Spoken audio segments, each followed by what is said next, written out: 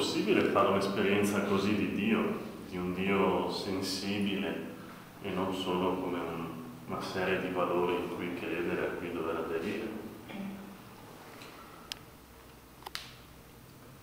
Eh, non, non mi sembra molto corretto hm?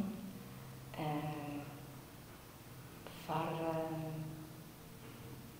sembrare Dio una persona, nel senso che eh, per analogia possiamo dire che Dio ci tiene tra le sue braccia, però è un'analogia, cioè qualcosa che si avvicina alla realtà, ma che non è la realtà, perché la realtà è molto di più.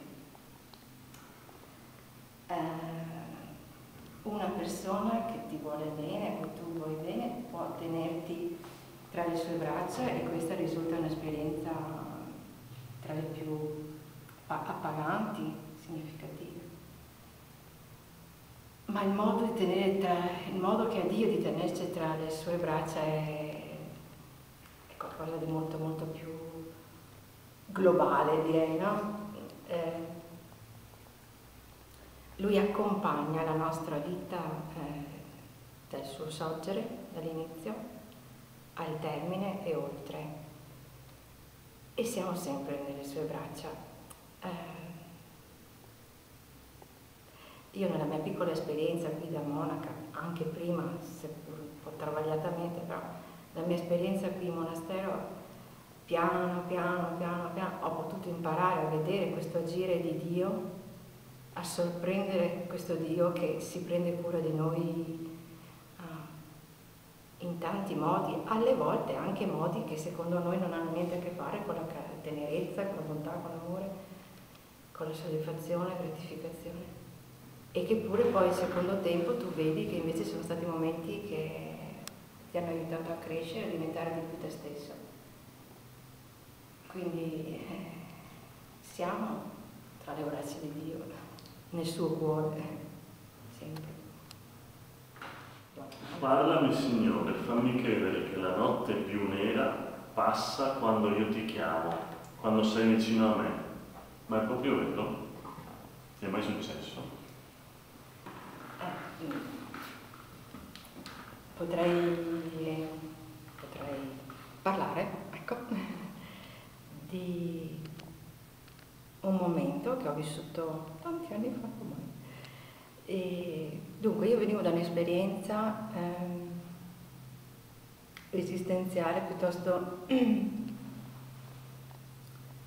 difficile. Mm, ero appena tornata da un lungo viaggio in Oriente, ero in convalescenza, avevano operato urgentemente di peritonite, quindi anche forse salvata per i capelli, e avevo alle spalle eh, veramente un, non dico un fallimento, comunque un grosso senso di nullità, di niente. Mi sembrava che questa vita non valesse più niente, avevo provato tutto e non, ancora, e non trovavo ancora qualcosa che veramente mi desse delle ali, non so come dire, tirasse su. E, ed ero, ricordo benissimo, ero a letto, stavo leggendo un libro di San Giovanni della Croce che mi era capitato tra le mani per caso, è che leggessi, frequentassi autori cristiani tanto meno mistici. E leggendo questo libro, sì, d'accordo, mi sembrava una persona che scriveva bene, però ben distante ecco, dalla mia esperienza. Comunque ho messo giù il libretto e mentre così riflettevo un po', eh, c'è stato un momento di grande commozione perché ho avvertito chiaramente la presenza attorno a me, dentro a me, non so io dove e non so per quanto, però ho fatto proprio l'esperienza di una presenza che era, che era amore, che era uh, gioia, che era pienezza, uh, vicinanza, pienezza di bene direi, pienezza di bene, non saprei neanche quali altri aggettivi usare.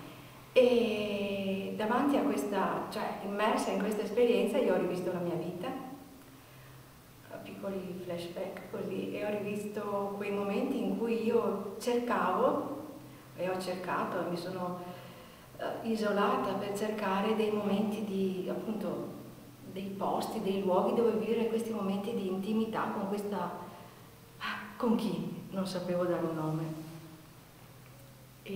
che però stavo cercando, che cercavo e, e lì in quel momento appunto a letto ho capito che era questa presenza che io cercavo, questo essere che si stava presentando a me eh, così.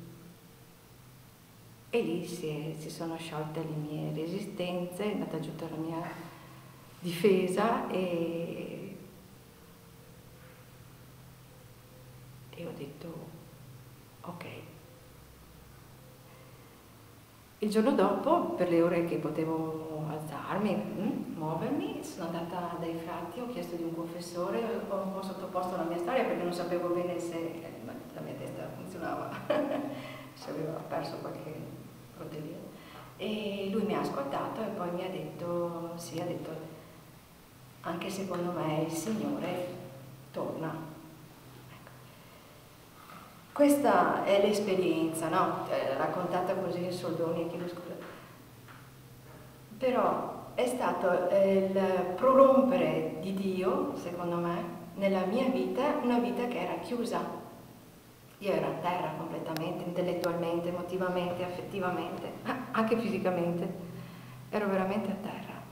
E lui è in quel momento di deserto, di, fi finitezza, no? strade chiuse, è ha fatto irruzione, gratuitamente e totalmente. Dalle tue braccia è possibile, però mi verrebbe da dire che, che qui è tutto, sembra almeno tutto facile, tra le braccia del monastero, fare un incontro così con Dio, coccolarselo, pregarlo, restare in silenzio, sembra un'esperienza fattibile, però poi noi adesso ce ne andiamo, usciamo, torniamo mezzo della crisi, del lavoro, della frenesia, dei pensieri, delle preoccupazioni, lì noi siamo chiamati a, a incontrare Dio, a lasciarci incontrare da Lui e facciamo fatica a volte a vedere queste braccia, a incontrarle, a lasciarci abbracciare.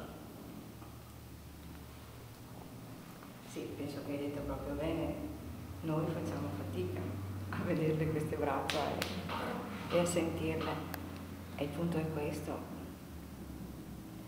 siamo noi che facciamo fatica, siamo noi che abbiamo il problema. Non è il Signore che è più vicino qua, in monastero, alle persone, è più distante fuori. Siamo noi che abbiamo, che uh, poniamo, diciamo, delle distanze, ma neanche tra noi e Dio, ma tra noi e noi stessi.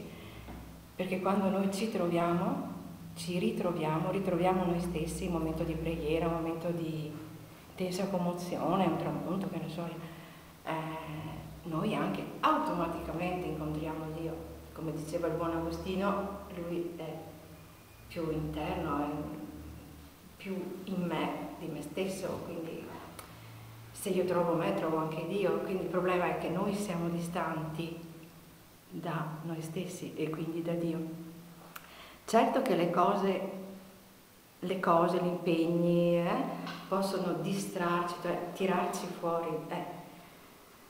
E sta a noi eh, calibrare sempre dov'è il nostro centro e ritornarci. E poi, tra parentesi, non è detto che in monastero ci sia tutto questo benessere, tutto questo star bene, tutte queste braccia di Dio, eh?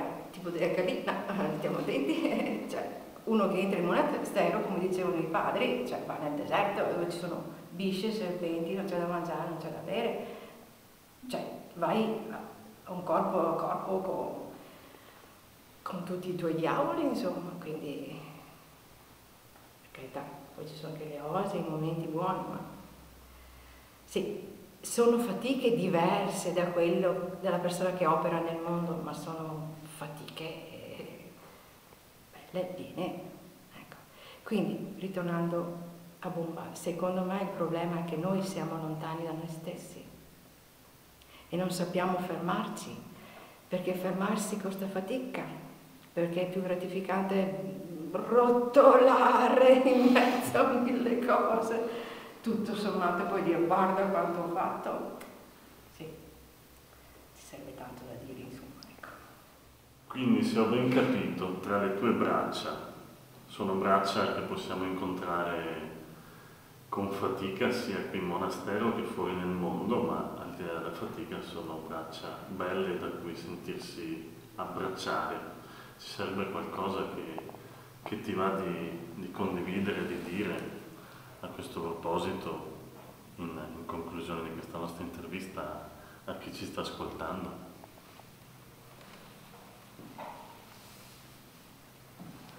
Eh, forse eh, per modi sigla conclusiva, eh, forse possiamo dire che noi possiamo essere, noi possiamo dare le nostre braccia a Dio perché ci abbracci, cioè essere noi i primi che si prendono cura di noi stessi, di, ma di tutto noi stessi, di tutto quello che siamo, di, di, prendersi cura di noi come persona intera essere noi le braccia di Dio.